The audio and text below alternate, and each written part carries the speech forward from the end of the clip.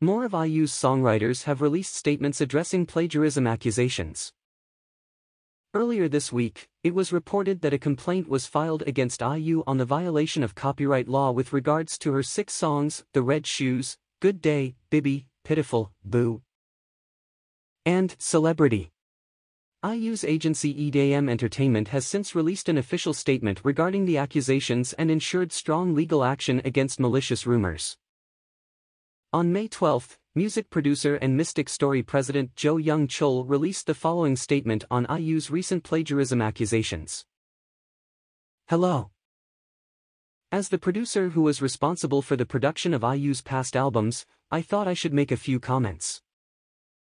While I've monitored all the songs that continue to claim plagiarism on YouTube and were recently accused, I was unable to discover any suspicion of plagiarism.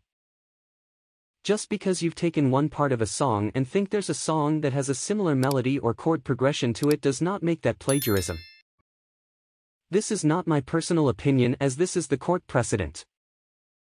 The parts of the songs being accused do not even have the same melody or chord progression.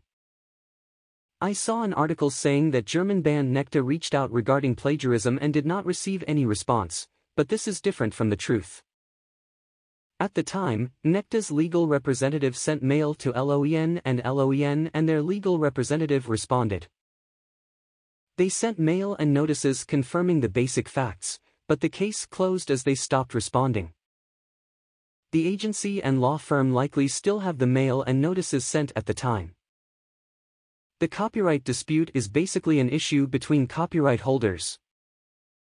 I question whether a third party has the right to make accusations, and they must be held legally responsible if this is malicious defamation.